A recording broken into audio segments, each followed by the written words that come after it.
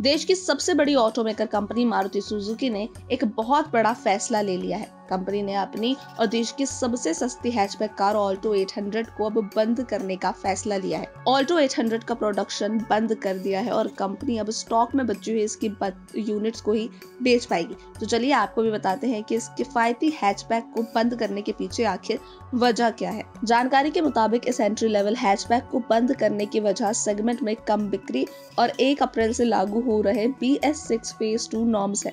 कम बिक्री के चलते B S six phase two के अनुरूप ऑल्टो 800 को अपडेट करने के लिए खर्चा करना कंपनी के लिए व्यवहारिक नहीं था।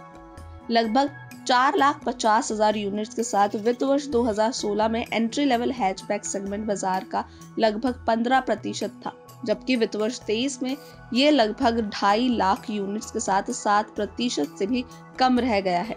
मारुति की आधिकारिक वेबसाइट के मुताबिक ऑल्टो 800 की कीमत तीन दशमलव पाँच चार लाख रुपए से लेकर पाँच दशमलव एक तीन लाख रुपए एक्सो शोरूम तक जाती है।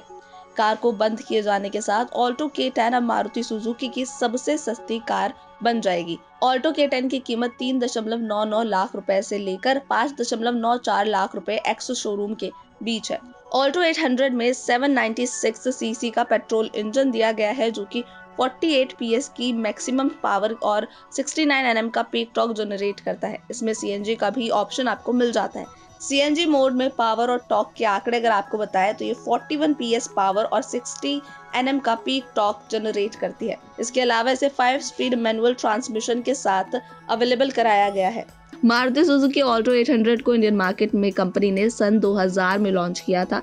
मारुति ने 2000 तक इस कार की लगभग 18 लाख यूनिट्स बेची।